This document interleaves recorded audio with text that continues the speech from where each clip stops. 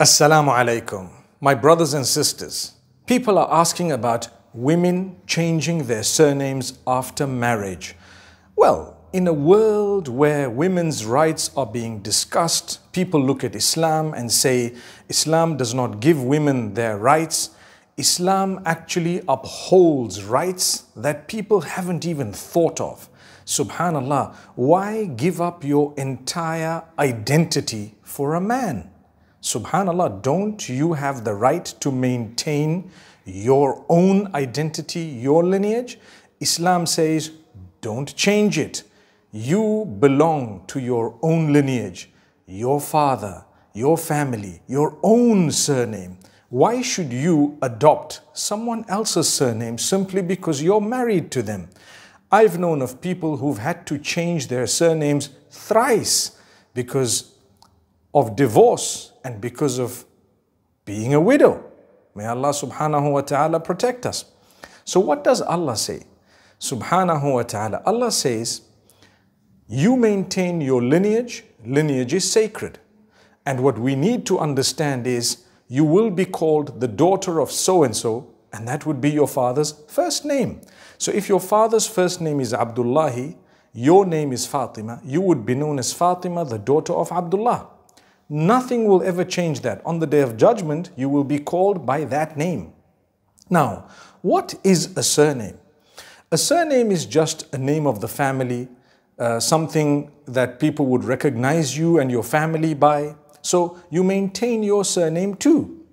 If you really have to change the surname or add your husband's name, because of immigration purposes, because of some legality where you're staying, there is scope of permissibility in that regard for as long as there is no deception in the name or the surname. So, it is best to keep your name as you were born, your father's name and surname. That is the ideal, that is the Islamic teaching. If you really have to change it, you make a minimum change to it, subhanAllah if need be, like I said. So instead of being known as Fatima, the daughter of Abdullah, it is not wrong to be known as Fatima, the wife of Shu'aib, for example. So if someone says, this is Fatima, which Fatima is she? Well, she is the wife of Shu'aib. That's okay. So Fatima, Shu'aib, there is a, there is a little uh, word that is missing there, which they usually hide.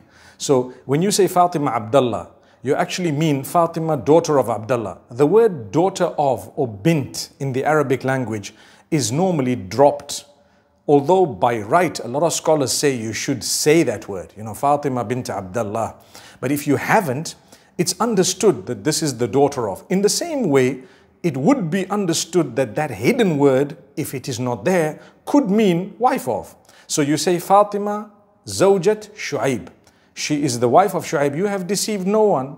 Everyone knows this is the wife of Shu'aib. But the thing is, when you start changing your documents and your identity and your identification, as is taught by some cultures, what would happen the day you're divorced? And now that divorce is so rampant, what would happen if you were to go through two or three divorces? Why should you keep changing names and keep, you know, uh, isn't that, subhanAllah, a beautiful way that Islam has protected a woman to say, you maintain your identity. Who you are shall remain who you are. You don't start belonging to a man in this sense that your lineage is also gone. May Allah subhanahu wa ta'ala protect us. So I hope I've put things into perspective because while Islam teaches you that your lineage is sacred, you're just not allowed to deceive people.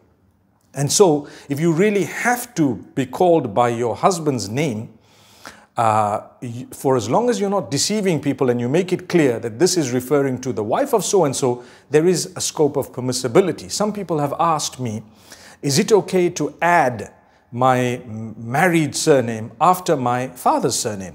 So, for example, uh, someone would say, Fatima, the daughter of Abdullah, the wife of Shu'aib, so and so. So, the daughter of Abdullah Zahran, for example, and the wife of Shu'aib uh, may be Malik. So if that is the case, you have not deceived anyone. Still, consider this, my brothers and sisters. as far as possible, try not to change your names. And if you really have to, then you may do it. But for as long as there is no deception in it and you've made it clear that I, am not the daughter of so and so, I'm just the wife of so and so. Similarly, when people talk about defending the rights of women, I think that one of the rights you have as a female is to keep your name. May Allah subhanahu wa ta'ala protect all of us. And I really thank Allah for giving us such beautiful teachings regarding our lineage, our names, the fact that it's sacred. You know, I actually had uh, someone ask me that, is it okay for me to ask my husband to change his surname to mine? And I said, no, it's not okay. Uh, and they say, they, they, they, they argued back to say, but why? You know, if, if this is okay, why is that not okay? And that's when you put things into perspective and you realize that, you know, either way, you should just maintain your own identity. I think it's just a culture that we've got and it's been, you know, across the globe, many cultures actually say a woman loses her identity when she gets married to her husbands and people change their identity, meaning their documents and so on. Some of those who are more popular and famous have actually, uh, even the powerful, the rich, they've actually maintained their surnames. They might just attach their husband's surname to let people know I'm married. Like I said, if there's no deception, there may be scope of permissibility. Still, I would advise you not to change your name. May Allah bless you all. أقول قولي هذا وصلى الله وسلم على نبينا محمد